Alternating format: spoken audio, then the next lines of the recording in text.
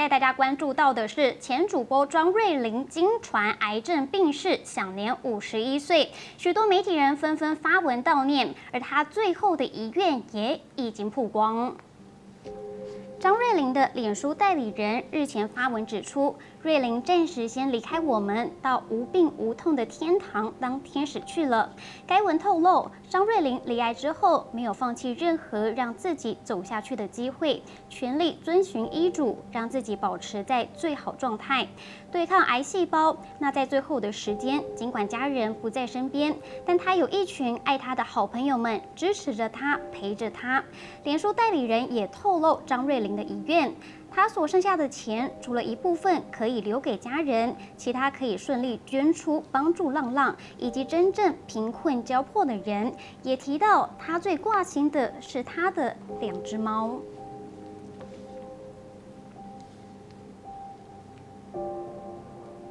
先前柬埔寨诈骗风波闹得沸沸扬扬，其中一位受害者皮皮勇敢的出面指认出当时经历的状况。不过呢，近日他却转战 AV 产业，饱受大家的争议。对此呢，他也说出了为什么想要投身 AV 产业的原因。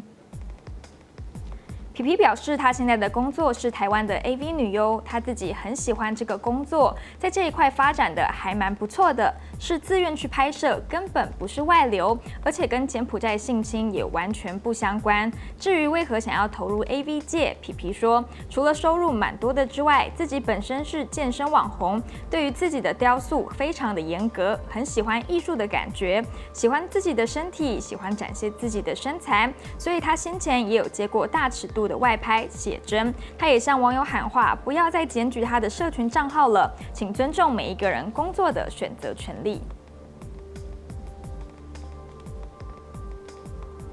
这个消息啊，经过一天的发酵之后啊，很多人呢真的就去检举皮皮他的账号，所以就导致皮皮他的推特账号呢是被永久停用的，而且不止这个账号哦，就连他的小号也被停用，让他呢是感叹说，完全是白忙一场。